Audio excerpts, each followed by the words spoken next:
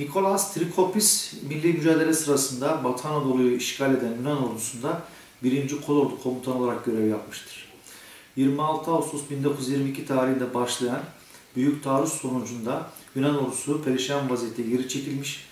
30 Ağustos 1922 tarihindeki başkomutanlık meydan muharebesinde de ordunun Yunan ordusunun büyük bir kısmı imha edilmiştir.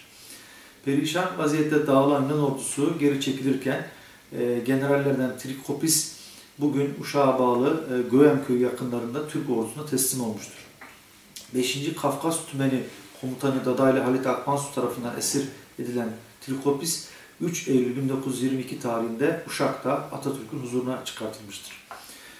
E, Uşak'ta bir süre kaldıktan sonra Afyon üzerinden Ankara'ya gönderilen Trikopis oradan e, Kayseri'de e, esir kampında tutulmuş.